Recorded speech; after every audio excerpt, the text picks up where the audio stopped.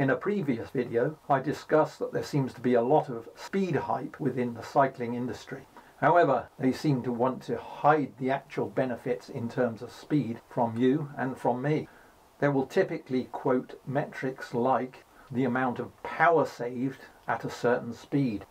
Because I couldn't find any reliable information on the effect of different components and technologies on speed, I decided to carry out some of my own testing. I didn't want to do the pseudoscience that you get in many other high profile YouTube videos. I wanted my testing to be appropriately rigorous so that it gives meaningful results. I wanted these results to be applicable to me, an average cyclist. So not at 40 kilometers an hour, which is, I feel, unrealistic speed for most cyclists, but around 25 to 30 kilometers an hour. And I didn't want to know about power savings, I wanted to know about speed. I decided to create my own test protocol. This I covered in my last video in this series and there's a link to it up here.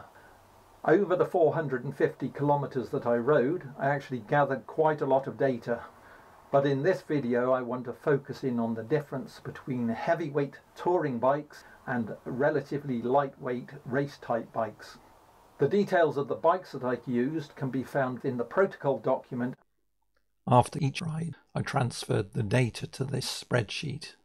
And the spreadsheet allowed me to carry out some basic statistical analysis, graph the results, and produce some tables. I designed the test protocol so that the results would be meaningful from a practical point of view. I also wanted to check that they would be significant from a statistical perspective. In this graph I've plotted out all of the results from the shorter route with the average cycling speed for the route plotted against the average heart rate. Red is for the touring and blue for the race bikes. The R-square values are quite high, which is good.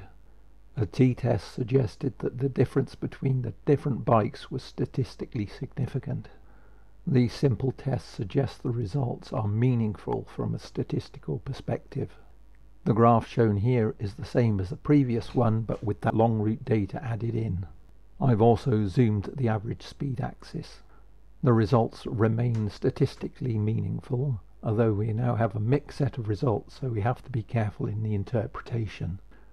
One thing you can see here is that for nominally identical rides there's actually quite a range of different speeds that have been recorded. There's up to 3 kilometers an hour and this is why I repeated the ride so I could average out any random errors. So what is the difference between the race bike and the touring bike speeds? All the main results are in this table. The top block of results is all the data from the 9.5 kilometer route. The center block is for the 40 kilometer route only and the bottom block of data is all of the data that is the 9 and the 40 kilometer routes combined. For each of these I give the distance, time and average speed for all of the rides combined. I then give the times when scaled to a 40 kilometer distance. I plan to use this information in future videos. The final column gives the percentage speed increase of riding the race bike over the touring bike.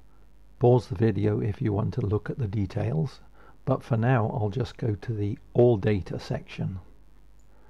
The bottom line is that for the same physiological input, the race bike went at 29.5 kilometers an hour against the touring bike's 28.5 kilometers an hour. So basically a 1 kilometer an hour difference. This equated to 3.5% in terms of speed. I rode these two very different types of bikes over the same roads in very similar conditions and with matched levels of effort. What I found was that the race type bikes were approximately one kilometre an hour faster at around 30 kilometres an hour.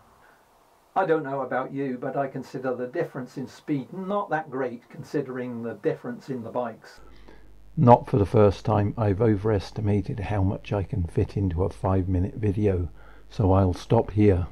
However, over the next few weeks I'll create a new video where I'll reflect on and interpret what these results mean for me, an average club cyclist.